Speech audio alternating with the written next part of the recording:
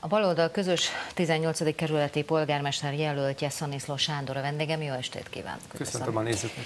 Kerestük Ugi Attila polgármestert, mert ön vagy önök úgy vélik, hogy, hogy miután az önök rendezvényét, az ellenzéki rendezvényt a biztonsági őrök félbeszakították, utána uh, arra biztatták ott a résztvevőket, hogy menjenek a Fidesz rendezvényére, uh, Ugi Attila és a Fidesz KDNP egyik képviselőjelöltje várta az érdeklődőket. Most megkerestük Ugi Attilát, azt mondta, hogy neki ez az egészhez semmi köze, a biztonsági céget keressük, melynek őrei ott voltak a helyszínen. Ők egy közleményt adtak ki, és ebben a közleményben mindjárt az elején az szerepel, hogy a rendezők felé be nem jelentett és nem engedélyezett e- elektronikusan hangosított produkció kezdődött meg az önök sátrában. Miért nem jelentették be?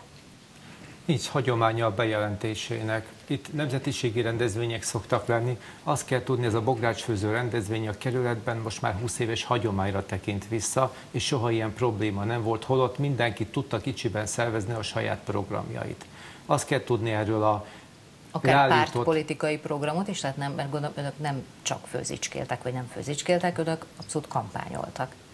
Sokan kampányoltak, hiszen kampányidőszak van, ez teljesen benne van a sok éves hagyományban. Például önkormányzati kompresszorral fideszes lufikat osztogattak önkormányzati áramköltségen. Mi ezért nem szóltunk, ezt megtették. Azért sem szóltunk többek között, hogy lépten nyomon ők például a párt pólójukban voltak kint, mi normális, hagyományos civil öltözékbe mentünk oda, de nem is ez a lényeg. Az a lényeg, hogy egy olyan rendezvényt szakítottak meg ilyen agresszív módon, ami senkinek nem volt ellenére. A sátor előtt körülbelül százan lehettek abban a pillanatban, amikor a fekete ruhába öltözött biztonsági őrök megjelentek. Szerintem ez lehetett a polgármester úrnak a legnagyobb problémája.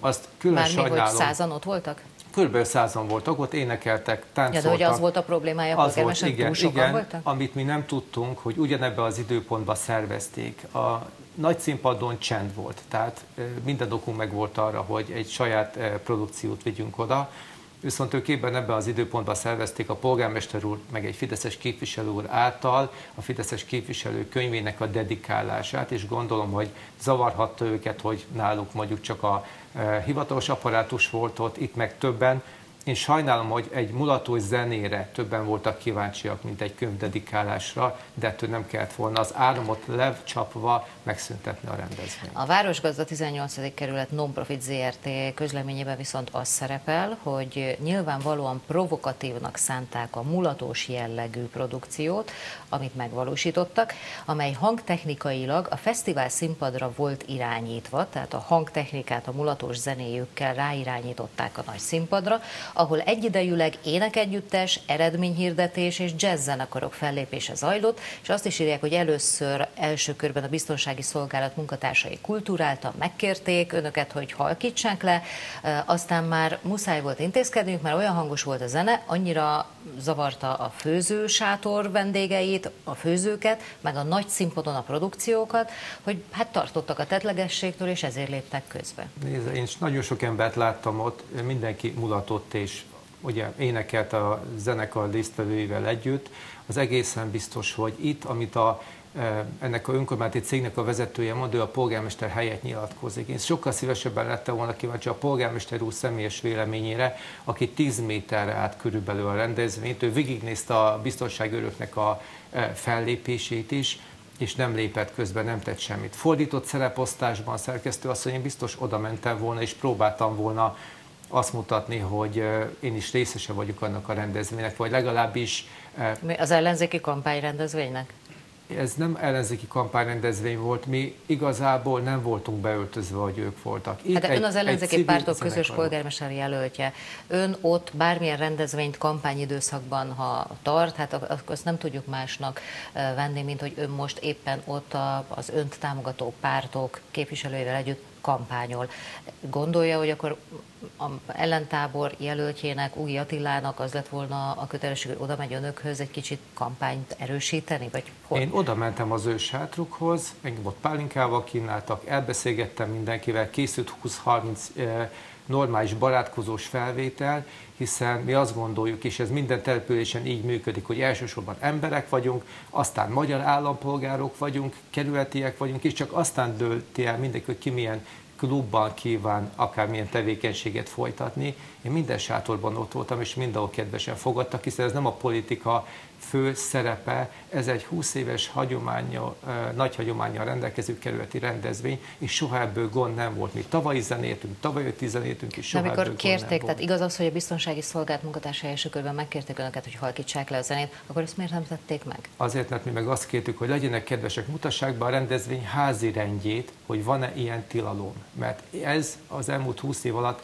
egyszer sem került elő, hogy probléma lenne, hogyha bármilyen kis közösség saját, saját kis mini produkciót visz oda. Ez senki a világon a eddig nem produkcióval zavart. volt baj, nem annak minőségével, az nem az derül ki a közleményből, hanem az derül ki a közleményből, hogy annak hangerejével volt baj. Nagyon sajnálom, hogy nem készítettünk saját felvételt a rendezvényre, mert lehetett volna a hangulatát látni, hogy senkit a világon ez a dolog nem zavart. Nyilván, hogyha odajött volna 5-6 kerületi lakos, aki ezt kifogásolja, akkor mindent megtettünk volna azért, akár a béké érdekében is, hogy ez ne legyen. Ide Marcon a biztonsági őröket küldtek, akik két perc után kihúzták a konnektort, és megszüntették az áramszolgáltatást, tönkrement volna ebben az esetben a fagyasztóládában, amit tartottunk, nem ez a szokás, nem ez az eljárás, hogy erőszakot alkalmazunk, ami már nem azt első írja, alkalommal történik meg. Banyár László vezérigazgatója, a Városgazda Nonprofit ZRT-nek a vezérigazgatója, azt írja ebben a közleményben, hogy,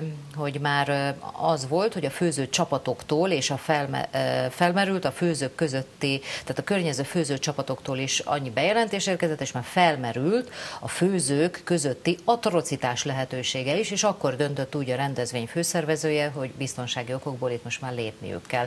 Tehát, hogy ez számomra az derül ki ebből, hogy ilyen lincs hangulat alakult már ki az önök mulatós zenéje miatt. Szerkesztő asszony, én még egyszer mondom, én a polgármester úr véleményére letnék kíváncsi, aki ott volt a helyszínen, végignézte, nem állította le a biztonsági őröket. Megjegyzem, ha neki ebben igaza lenne, egészen biztosan elvállalta volna a stúdió fellépést, és hogy elmondhassa az érvét, hát mondják, oka van, hogy nem köz, tette. De nincs köze, azt mondta. Tehát ott a biztonságiak feleltek a rendér, és ők döntöttek, így nem ő, mondja ő. Ezért és nem, nem tudott róla, nem vett benne részt. Lehet, hogy így van, de ahogy mondják, a hatos lottó esélyesebb, mint hogy ez így történt volna. Ő pontosan tudta, én bármi belefogadom, hogy ő irányította ezt a atrocitást, ami történt, nyilván nem keveredett bele, mert az nem vette volna ki jól magát. A és hatását mindesetre elérte. Csöndben. Csöndben voltunk, és, és ott voltunk a délután hátralévő részéig, vártuk az esti eh, koncertet tehát akkor nem mentek haza, végül és annyira nem rontották el a kedvüket a, a biztonsági őrök, hogy megunták volna az egészet. Nézze, hogyha atrocita ott volt sok száz ember, több ezer ember ott volt, hogyha bárkinek eh, ez súlyos sérelmet okozott volna, egészen biztosan oda jött volna hozzánk. Sem hozzám, sem egyetlen kollégámhoz, egyetlen barátunkhoz nem jött oda senki, ha lett volna helyszíni felvétel, lett volna néhány keresetlen megjegyzés a polgármester úr irányába, amit most be tudnánk mutatni, hát sajnos ezt nem tudjuk már utólag prezentálni. Itt aki ebből az egészből rosszul járt, az maga Ugi Attila polgármester úr, de nem ez az első eset. Ugyanezt tették többször már.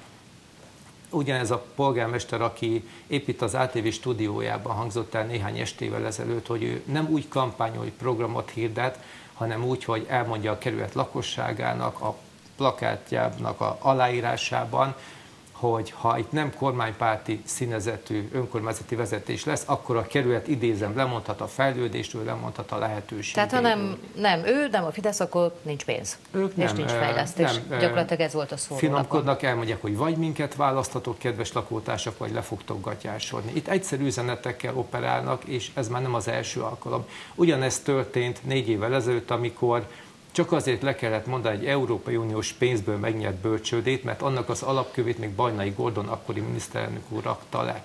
Na minden Lemondták, eset... most ők újra megpályázták az összeget, nagy nehezen megnyerték, ugyanaz az összeg, most az ő államtitkáruk rakta le, csak közben szerkesztő azt mondja, kiesett négy teljes év, és négy évnyi fiatal családdal toltunk ki, akiknek a gyerekeit nem tudtuk bölcsödébe elhelyezni. Hát az a bölcsöde már állhatna bőven és üzemelhetne, sőt már egy generáció ki is repülhetett volna Úgy az óvodába. Na minden esetre tanulság jövőre rögzíteni, hogy milyen hangerővel fellépők, vita, van, nincs, aztán egyszerűbb lesz a helyzet. Köszönöm Én azt szépen, tudom ígérni, ha egy mondatot mondhatok, Igen? ha jövőre én szervezem ezt a rendezvényt, és nagy Isten a fideszes kollégák valamilyen házi rendezvényen jönnek oda, én meg fogom őket látogatni, és meg fogom nézni velük együtt a produkciót. Hát az a pálinkázás az jó ötletnek tűnt, amit említett. Köszönöm szépen, hogy itt volt. Köszönöm.